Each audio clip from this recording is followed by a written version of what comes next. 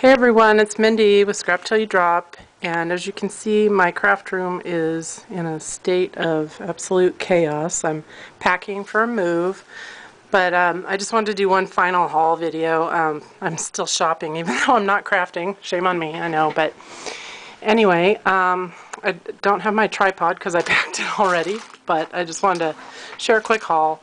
Um, I finally got the dress form die I ordered that off of eBay. I don't remember the seller. I'm sure there's any number of places you can find that die.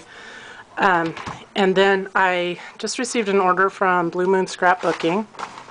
And I got the uh, Tim Holtz bottles. I got these charm clips, which look pretty cool. I've never really seen these before. and then I got some of the hangers, the hanger clips. And I got the game pieces. And I got the new Crowded Attic paper stash. And I love this paper. I'm sure you've all seen it before. It's just really cool vintagey paper. And uh, just love Tim Holtz. And, you know, who doesn't love Tim Holtz?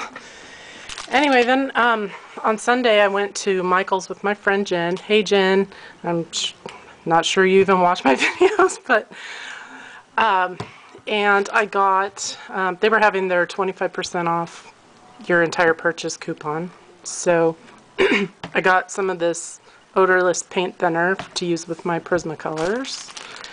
And um, I got some of this Aleene's Tack It Over and Over because I have some, I'm going to try it. I have some unmounted stamps that don't have the cling film on them, so I'm going to give that a try.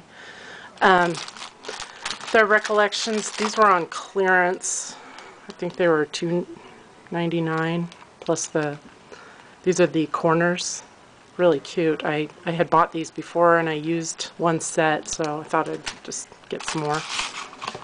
And then I got this uh, half inch terrifically tacky tape. It was on clearance for $2. And in the dollar bin, I found this cute little pink um, clothespin. And got some of the picture frames. These are $2 now instead of a dollar. So I picked up two of those. And then I found the cutest little buttons. Look at these, you guys. I don't know how well you can see that, but it's a sewing theme and it's got a dress form, spools with thread, um, a measuring tape, scissors, and there's even, um, there's thimbles, and then there's even a needle. Let's see if I can, there's a needle at the bottom there. And so I picked up two of those, $1.99 each, plus the 25% off. I just, those are adorable. I'll be able to use those with the, um, the dress form die.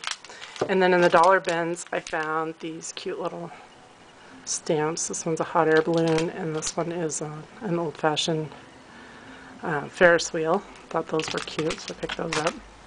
And then Joann's was also having their 25% off your entire purchase too, so of course I had to go there.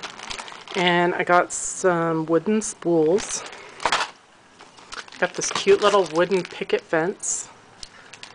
And um, also this picket fence, and this is, it's a, a long strip of fence that's attached with wire Thought it was really cute. Don't know what I'm going to use it for yet, but I know I will find a use for that.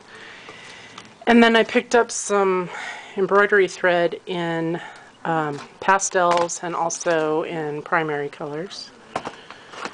And I found this cute little dollar stamp. It says mother-daughter. I uh, thought that would be good for uh, Mother's Day card. You know, Mother's Day is coming up. So, and then I picked up some of the um, TPC Studio stamps that I didn't get on the first go around, the keys.